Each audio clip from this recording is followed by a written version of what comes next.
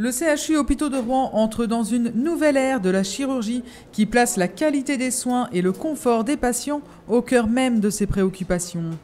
Depuis septembre 2011, les services de chirurgie urologique, gynécologique, pédiatrique, digestive, ORL et cardio-thoracique disposent de la dernière génération de robots chirurgicaux dans le cadre de leurs activités. Cette technologie de pointe permet de réaliser des interventions chirurgicales complexes et délicates de manière moins invasive grâce à de petites incisions. D'un côté, le patient, allongé sous une machine munie de quatre bras articulés, de l'autre, une console avec pédale et manette pilotée par un chirurgien. La tête plongée dans sa console, les yeux rivés sur une image agrandie en 3D, le chirurgien commande des instruments chirurgicaux miniaturisés de 5 mm fixés sur les bras articulés.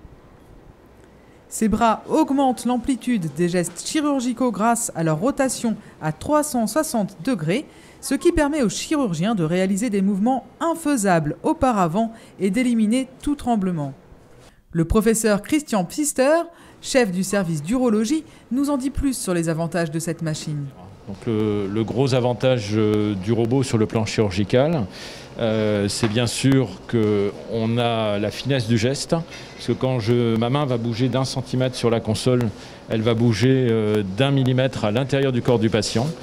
Euh, l'autre gros avantage, c'est que la, caméra euh, ne bouge pas du tout par rapport à la célioscopie puisqu'elle est sur un bras fixe.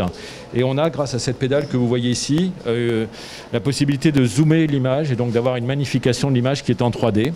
Donc ben, en urologie, les principales interventions sont la prostatectomie, la néphrectomie, la cystectomie. au CHU, on fait à, l'heure actuelle quasiment 60% de l'activité du, du robot.